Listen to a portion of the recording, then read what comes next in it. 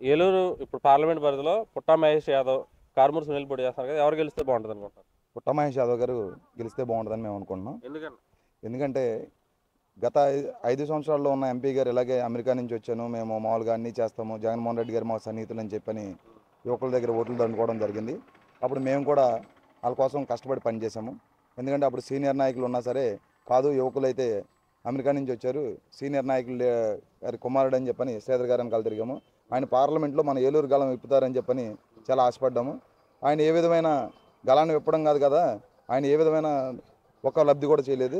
ఇప్పుడు అలా కాకుండా ఇప్పుడు పుట్ట మహేష్ యాదవ్ గారు అయితే ఆయనకున్న కార్పొరేటర్ దీంతో మేనేజ్మెంట్ కానీ ఐటీ కంపెనీలు కానీ లేకపోతే ఇండస్ట్రీస్ కానీ లేకపోతే ఇంకేదన్నా డెవలపింగ్ అంటే కమర్షియల్గా కమర్షియల్గా కుర్రాళ్ళు నిరుద్యోగిని ఏదైనా ఉపాధి కల్పించే విధంగా ఏర్పాటు చేస్తారని కంపెనీలు కానీ ఇండస్ట్రీస్ కానీ ఇంకా ఇంకేమన్నా ఉపాధి కల్పించే విధంగా కుర్రాళ్ళని ప్రోత్సాహంగా తీసుకెళ్తారని.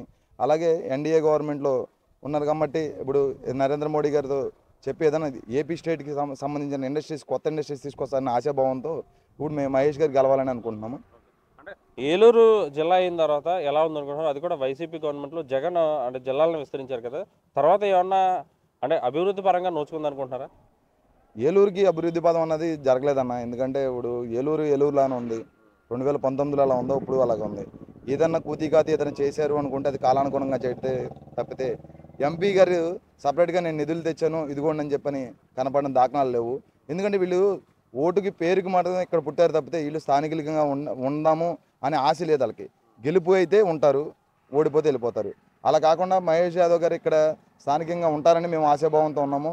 ఆల్రెడీ మాకున్న ఇన్ఫర్మేషన్ ప్రకారం ఆయన ఇక్కడ సొంతంగా స్థలం కొనుక్కుని ఇక్కడే ఉంటున్నానని చెప్పని తెలిసింది.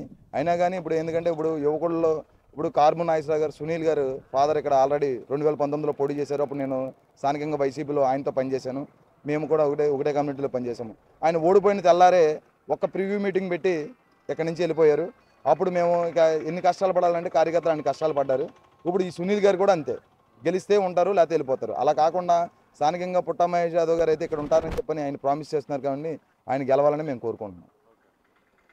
ఏలూరు పార్లమెంట్లో పుట్ట మహేష్ యాదవ్ కార్మూర్ సునీల్ పోటీ చేస్తారు కదా సరే ఎవరు గెలవచ్చు అనుకుంటారు అంటే ఆయన గె- ఆయన గెలిస్తే యువనాయకు యువనాయకుడు పుట్ట మహేష్ యాదవ్ గారు గెలిస్తే ఇక్కడ కంపెనీస్ ఏదైనా బీటెక్ చదివిన స్టూడెంట్స్కి ఉపయోగపడతాయని యువనాయకుడిని గెలిపించుకుందామని ఎదురు చూస్తుంది.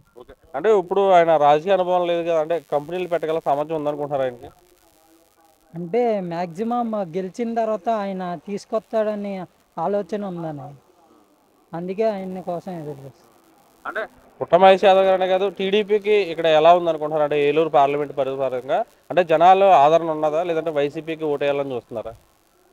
అంటే మ్యాక్సిమం ఇప్పుడు టీడీపీ ప్రభుత్వం కోసమే చూస్తున్నారు అందరూ. ఎందుకని? ఎందుకనంటే ఆయన చేసినవి ఏమీ కనపడతలేదుగా. రెండు వేల పంతొమ్మిదిలో ఐటీ కంపెనీలు అన్నారు. ఇప్పుడు వరకు వచ్చి ఇప్పుడు ఆ కంపెనీలు ఎక్కడ ఉన్నాయో వెతుక్కుంటున్నాం.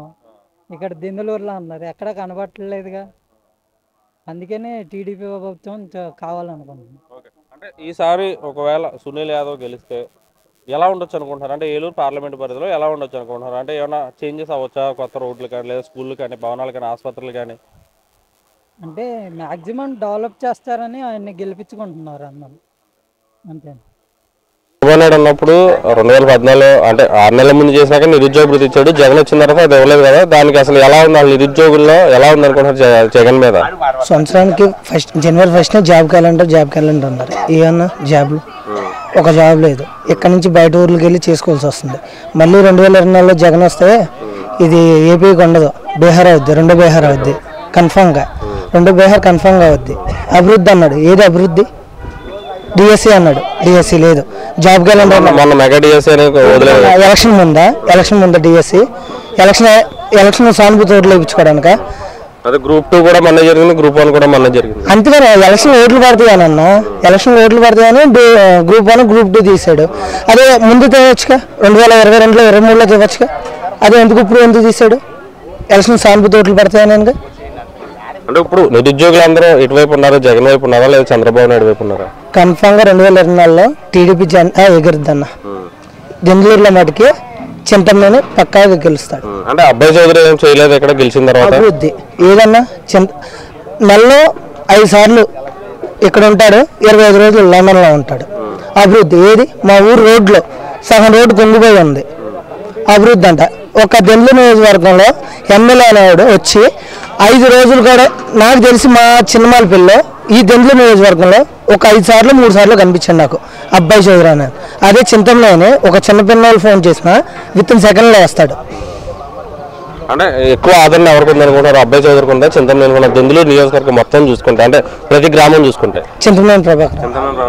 ఈసారి గెలిచే అవకాశాలు ఎంతవరకు ఉన్నాయి? Ninety nine percent Chintamaneni Prabhakar. Chintamaneni Prabhakar. అంటే తిరగలేదు అసలు? పక్క. ఎంత వస్తుంది మెజార్టీ? మెజార్టీ ఇరవై వేల నుంచి ఇరవై ఐదు వేలు దాకా వస్తుంది. ఇరవై నుంచి ఇరవై ఐదు. అంటే పోయినసారి ఎయిటీన్ మెజార్టీ ఎయిటీన్ థౌసండ్ తేడాతో ఓడిపోయారు ఈసారి ఇరవై ఐదు వేలు వస్తాయి అంటారు పక్కాగా ఇది సారి.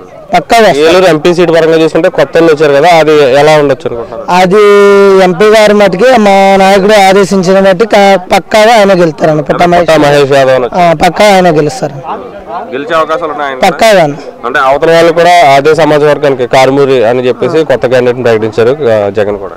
పక్కాగా ఎంపీ గారు ఇక్కడ దెందులూరులో మరి చంద్రబాబు ప్రభాకర్ గారిని పక్కాగా గెలుస్తారు. ఎన్ని సీట్లు రావచ్చు మినిమం వన్ ట్వంటీ ఫైవ్ నుంచి వస్తాను. వన్ ట్వంటీ ఫైవ్ పక్కా. ఇప్పుడు పవన్ కళ్యాణ్ మోడీ కలవడం వల్ల ప్లస్ మైనస్ టీడీపీ? ప్లస్ అన్న ప్లస్ ఈ జగన్ చేసే రాజకీయానికి మూడు మూడు వైపుల నుంచి వచ్చి ముగ్గురు కలిస్తే ఒక రాక్షసుని తొక్కేస్తే ఎలా ఉంటది? అలా ఉంటది అన్న. ముగ్గురు ఎన్డీఏ కూటమి ప- పవన్ కళ్యాణ్ అన్నాడు అదా పాలన జగన్ నేను తొక్కకపోతే నా పేరు పవన్ కళ్యాణ్ కాదు చేసి చూపిస్తాడు చేయలేడు పక్క అన్న బాబాయ్కే ఇప్పుడు న్యాయం చేయనాడు ఇప్పుడు శవ రాజకీయం చేస్తున్నాడు జగన్. ఇంకేం రాజకీయం చేస్తాడన్న మాకు? ఇంకేం న్యాయం చేస్తాడు?